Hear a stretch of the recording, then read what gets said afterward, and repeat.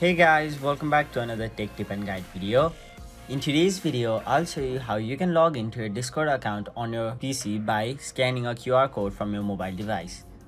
For this method, if you are logged into your Discord account on your mobile device, you can simply log into your browser by scanning a QR code. You don't need email, you don't need username, and you don't even need a password. All you have to do is open the Discord app or go to your browser on your PC after that, in the web address bar, type in discord.com and once you're in this website, tap on the option login on the top right corner of the screen. Now, right over here, as you can see, in order to log in, you can either enter your email or phone number, your password, and once you tap login, you'll be successfully logged into your Discord account.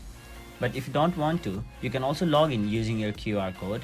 To do that, go to your mobile device. After that, open the Discord app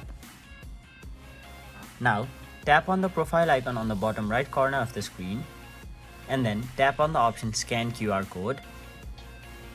After that, you'll have to scan the QR code and as you can see, on the PC it will say check your phone and on the mobile device, it will ask you whether you are trying to log in on the computer or not. So tap on yes log me in and there you have it.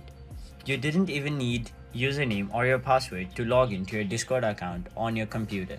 So it is as simple as that. So that was it for this video. Hope this video was helpful to you guys and if it was, please make sure to like this video and subscribe to our channel for more informational and helpful videos like these.